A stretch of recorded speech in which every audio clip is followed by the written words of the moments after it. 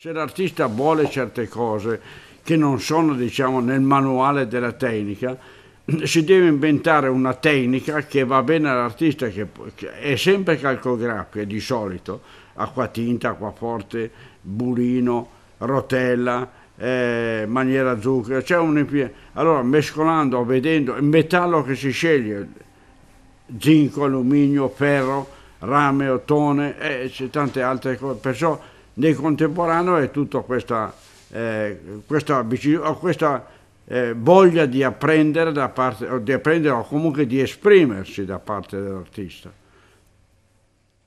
Per me uno stampatore può nascere, può diventare stampatore e poi imparare bene e poi mettere su uno studio per conto suo.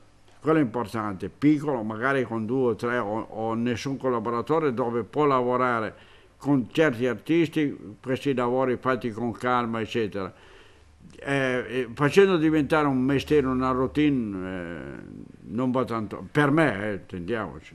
Non gli rimane che lavorare, scoprire, partire comunque dall'origine, è sempre meglio.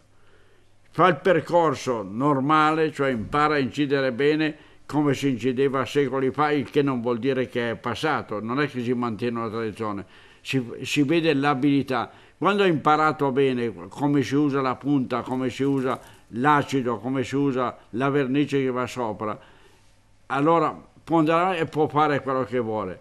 Però facendo prima e dimenticando il principio, per conto mio, eh, tante cose le, le sbaglio, gli vengono per caso, o fa della cucina solamente.